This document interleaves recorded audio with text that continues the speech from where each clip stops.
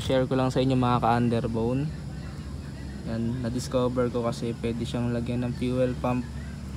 Pero may konting adjust, ah, adjustment lang dito sa may carb natin, sa may floater. Ito yung pangalawa kong biling fuel pump kasi yung unang fuel pump na nabili ko, yung pang multicab, hindi siya pwede kasi wala siyang automatic.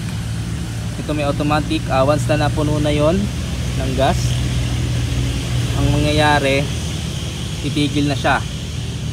Bali ang fuel pump pala natin is nakalagay lang sa on off ng engine din natin. So yan mga kuys. Share ko lang mga ka-underbone. Kasi hindi ko siya nilagyan ng tangke rito eh. So may nakikita ako may mga tangke sila dito. Dati pa naman wala na talaga ng tangke rito. Kasi ayaw ko nga talaga maglagay. Para sa akin lang naman. And yun nga, na-discover ko pwede siyang lagyan ng fuel pump. So yan, itong fuel pump na to kahit sobrang taas ng uphill hindi na mawawalan ng pondo yung ating carburetor. Kaya mga koys ito siya naka on siya ngayon. Yan. Ito yung off nya so yan. Hindi siya nagana kahit mag on tayo. Yan. Yun. Pumitik lang siya. Pero dun lang.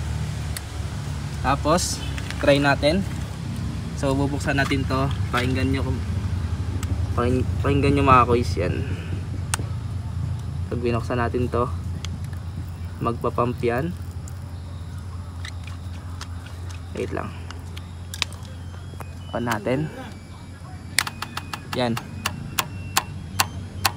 Yan magpapump na siya. So ganyan mga koys yung na-discover ko para sa mga underbow natin. Para hindi na tayo maglagay dito ng tangke sa harap. Pero choice nyo naman yun mga koys itong fuel pump na to. Kung ano yung mas maganda. So far wala naman siya naging issue sa akin. Yung isa lang talaga yung hindi nag-automatic.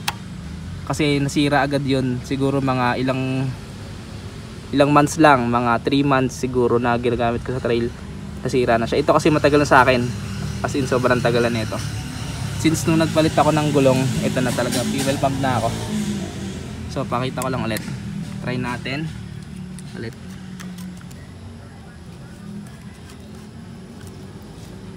tapos ano ulit natin?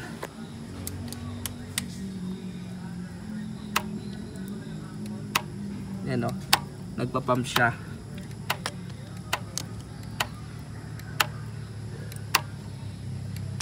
So yun lang mga ka-underbone.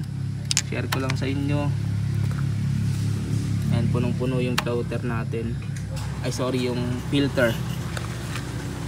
Punong puno ng gas So hindi na tayo maubusan ng stock na gas dito sa may carb gawa nitong fuel pump. So yun lang mga ka-underbone. Magandang araw sa inyong lahat. Alright.